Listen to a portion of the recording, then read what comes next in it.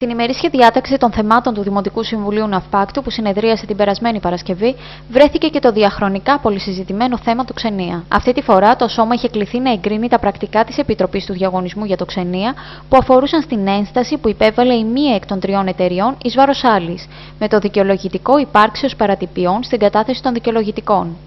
Στη συνεδρίαση βρέθηκαν και εκπρόσωποι της εταιρείας που κατέθεσε την ένσταση και οι οποίοι δήλωσαν πως από τη στιγμή που στο φάκελο της άλλης εταιρείας δεν περιλαμβανόταν η εγγυητική επιστολή, η Επιτροπή όφιλε αυτεπαγγέλτο να αποκλείσει τη συμμετοχή της και να εισηγηθεί τον αποκλεισμό της. Μεγαλύτερη σοβαρότητα από μέρους της Επιτροπής ζήτησε ο Δημοτικός Σύμβουλος Κώστας Κονίδας, καθώς όπως δήλωσε από τη στιγμή που υπήρξε παράβαση θα έπρεπε να υπάρξει απόρριψη της προτάσεως και επαναπροκήρυξη του διαγωνισμού. Είναι οξύμορο το σχήμα ομόφωνα η απόφαση να απορρίπτει τις ενστάσεις. Ομόφωνα. Και σήμερα, αν δεχόντουσαν ο κύριος εδώ να μας πει αυτά που ακούσαμε, δεν θα ήμασταν ενημερωμένοι. Είπε ο κύριος Πρόεδρος ότι οι φάκελοι δεν ήταν ανοιγμένοι. Και πώς έκαναν, απέρριψαν λοιπόν την ένσταση του άλλου. Και προτείνω να κάνουν σοβαρά τη δουλειά τους. Όταν βλέπουν ένα φάκελο, να το, ή θα τον κάνουν δεκτό ή θα τον απορρίπτουν. Έχετε κάνει δημαρχιακή επιτροπή, κύριε Δημαρχέ. Δημοκρατικά έργα. Όταν δημοκρατικά έργα μπορεί να χάσεις ένα έργο, μπορεί να χάσεις ένα έργο για ένα τυπικό.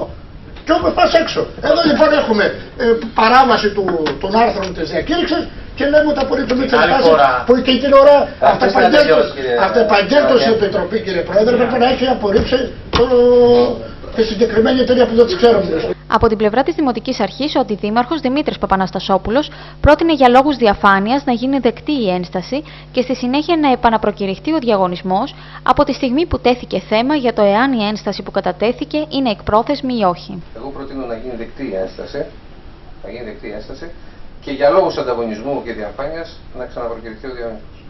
Ο επικεφαλής της κίνησης πολιτών Κώστας Καρακώστας δεν επέφυγε να ασκήσει κριτική στη Δημοτική Αρχή, η οποία, σύμφωνα με τον ίδιο, είχε υποσχεθεί ορδές επενδυτών για το ξενία στον αυπακτιακό λαό, ενώ και αυτοί που τελικά εμφανίστηκαν δεν γνωρίζουν πώς να λειτουργήσουν. Οι ορδές των επενδυτών που υποσχόσασταν στις συνεντεύξεις τύπου Σας το έλεγα από τότε. Σας παρακαλώ μην είστε τραγικός. Ασχοληθείτε με κάτι άλλο. Εμφανίστηκαν τρεις. Ο ένας δεν ήξερε που να βάλει την εγγυητική επιστολή. Ο άλλος δεν ξέρει να κλείσει ένα φάκελο. Και θέλετε να λειτουργήσει το ξενιαίο ξενοδοχείο. Είστε με τα καλά σας. Η μόνη λύση είναι να ζητήσετε δημόσια συγγνώμη για την τριετή καθυστέρηση, να τηρήσετε το τυπικό να τηρήσετε το τυπικό για να μην σας κλείσουν μέσα ναι. στο μέλλον και να πάμε να βάλετε να δουλέψετε να δείτε τι θα το κάνουμε το ξενιά. Όχι αυτό το πράγμα που πάτε να κάνετε. Ο Δήμαρχος Ναυπάκτου, Θανάσης Παπαθανάσης, θέλησε να υπερασπιστεί τις κινήσεις που ακολουθήθηκαν στο ζήτημα του ξενία και για το λόγο αυτό μίλησε για έναν καθαρό διαγωνισμό, κατά τη διάρκεια του οποίου και εν μέσω οικονομικής κρίσης εμφανίστηκαν τρεις επενδυτές. Πρώτα απ' όλα, είναι ένα πολύ σημαντικό σημείο το ξενία για την ΑΦΠΑΚ έτσι και είναι κομβικό. Το τι προσπάθησε και αυτή η Δημοτική Αρχή νομίζω είναι πάρα πολύ γνωστές. Πρώτα απ' όλα απεμπλακήκαμε άμεσα, γιατί ξεκινήσαμε άμεσα την νομική διαδικασία σε πολύ σύντομο χρονικό διάστημα και αυτό το ακίνητο, το μεγάλο περιουσιακό στοιχείο για την πόλη μας ήρθε στο, στο μικρότερο χρονικό διάστημα και πάει στη δυνατότητα του Δήμου. Δεύτερον, όπως και οι ίδιοι επενδυτές το είδαν και γι' αυτό βρέθηκαν στην πόλη μας, ήταν ένα σοβαρός διαγωνισμός, μια σοβαρή διαδικασία. Τρίτον, το Δημοτικό Συμβούλιο σε αυτή τη διαδικασία παρεμβαίνει ανα πάσα στιγμή. Και, και έχει τη δυνατότητα ανα πάσα στιγμή να παίρνει αποφάσεις καθοριστικές για την πορεία του διαγωνισμού. Και αυτό είναι κάτι πολύ σημαντικό και κάτι πολύ δημοκρατικό. Και τέταρτον, αν και πολλοί θα επιθυμούσαν στην πόλη της Ναυπάκτου, η οποία μάλλον δεν έχουν καταλάβει πού βρίσκεται, σε ποιο αστερισμό βρίσκεται, ε, νομίζουν ακόμα ότι η πόλη της Ναυπάκτου είναι το χωριό που ίσως αυτοί να ζούσαν κάποτε.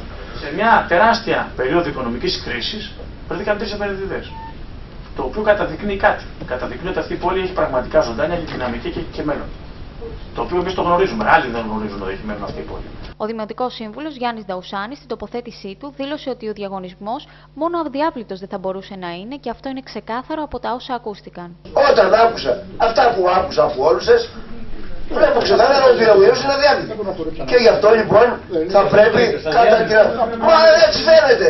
Μα όταν μου λέτε ότι δεν τα κλειστά, δεν τα κλειστεί η φάκη σωστά και τα απορρίψατε. Μα ε, δεν, μόνο αδιάβητος δεν είναι είπα. Αυτό είπα. Λοιπόν, πέρα από εκεί όμως, ακούστε κάτι, πέρα από εκεί όμως, εγώ θα ήθελα να σας πω το εξή. Εμείς το είπαμε και την άλλη φορά και ότι επιχειρήσαμε αυτό το εγχείρημα το οποίο δεν είναι απλό για το ξενία και δεν είχε ε, καλό αποτέλεσμα. Και γι' αυτό ε, κάναμε διαφορετική πρόταση την τελευταία φορά ε, και είναι γνωστή η πρότασή μας το πώς πρέπει να διαχειριστούμε από εδώ και πέρα το ξενία. Και σε αυτή την πρόταση εμένουμε.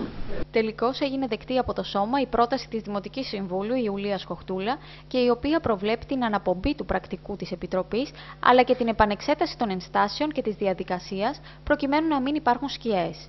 Αποφασίστηκε δε και η νέα σύνθεση της Επιτροπής, που αποτελείται πλέον από τους κυρίους Άγγελο Σταυρόπουλο, Κώστα Σταυρόπουλο, Αθανασοπούλου, Νίκο Κατσαντώνη, Τριανταφύλου και Χρήστο Σικόλα.